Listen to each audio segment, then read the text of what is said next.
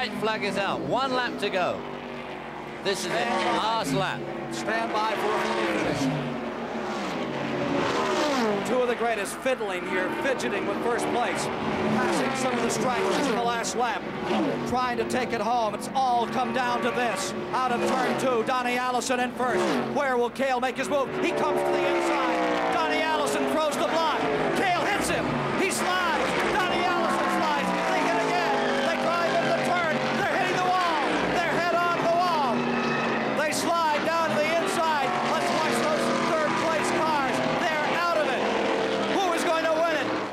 Two are out.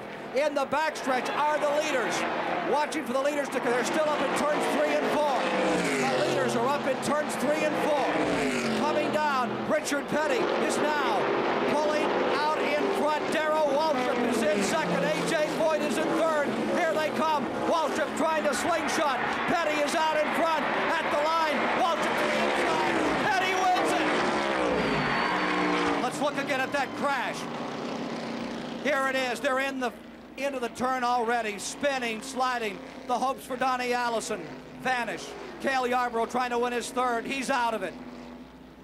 A sad moment for these people, but for Richard Petty, hurt all of last year, driving most of the year with a broken and battered body.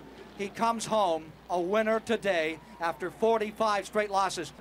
And here comes a $60,000 car becoming a 22 passenger school bus to bring his crew to Victory Lane. And, and there's a fight between Cale Yarborough and Donnie Allison. The tempers overflowing. They're angry. They know they have lost. And what a bitter defeat. A couple of very hard men, very hardly upset. And Bobby Allison is stopped by his brother to help. Richard Petty and car number 43 battling Darrell Waltrip. Here they come to the line. The photo finish camera was on the checkered flag, and for Waltrip going right down on the apron as he grappled with Richard Petty for first place. But there was no stopping Petty for his sixth win.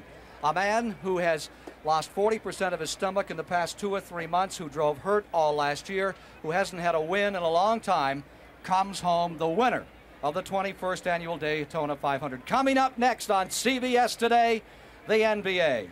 For David Hobbs, Brock Yates, Ned Jarrett, Marianne Bunch, I'm Ken Squier. We've been delighted to bring you flag to flag coverage of perhaps the most amazing, astonishing Daytona 500 in history.